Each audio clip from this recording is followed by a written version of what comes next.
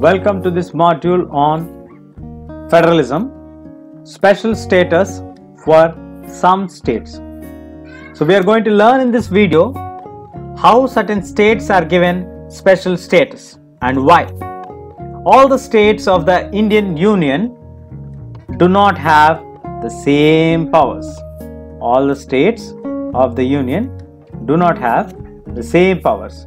So, what do you mean by this statement? We mean by this statement that all the states in India do not have the same powers. Means some states have extraordinary powers while some don't have any of these powers. Why we have such variations? Let us learn about that.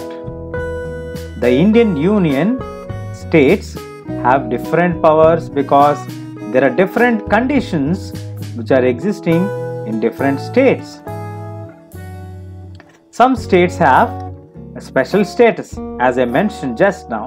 In the union you don't have same powers for all the states.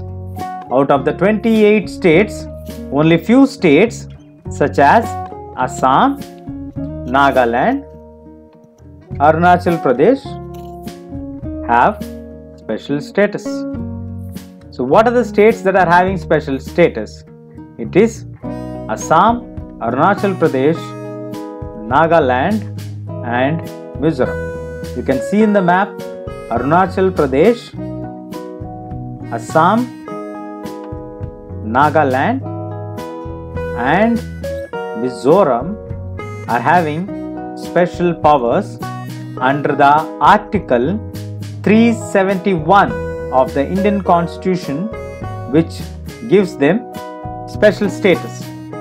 So, the states which are having special status are given through the certain provisions of the Indian Constitution, that is Article 371. What are the states? Assam, Nagaland, Arunachal Pradesh, and Mizoram. Why do we have given the special status to these particular states only? It is because of the peculiar social and the historical circumstances which were there or existing in these particular states we have guaranteed them a special status the special powers are given to the special status category states. They enjoy certain special powers in relation to the protection of the land rights. For whom the protection of the land rights? It is for the protection of the land rights of indigenous people. The people belonging to them locally are having have a distinct culture and they come under the population category of indigenous people. So, the special status guarantees them protection of the land rights and their culture. They also get the preferential treatment for employment not only in the local sector but also in the government sectors and services.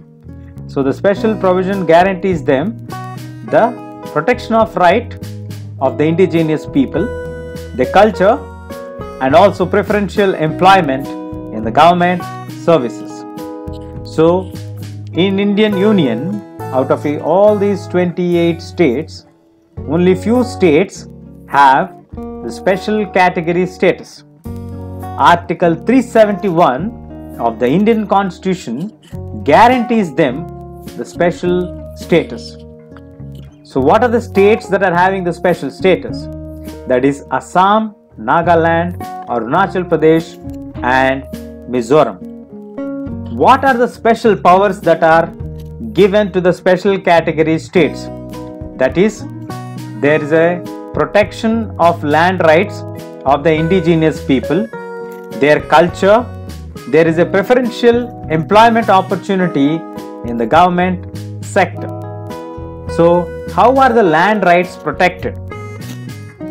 The land rights are protected because the Indians who are a non permanent resident of the state who are not living in that state will not have the right to purchase any lands here or house here. So, only if you live in this particular state, you get the right to buy or purchase a land or a house. In that way, the lands of these people cannot be bought by the people, those who are not staying there. It can only be bought by the state permanent residents. That is one way the government protects the rights of the land of these indigenous people. So, we learned what is a special category status, which states in India right now enjoy special status, why and which provision of the constitution has guaranteed them the special category status.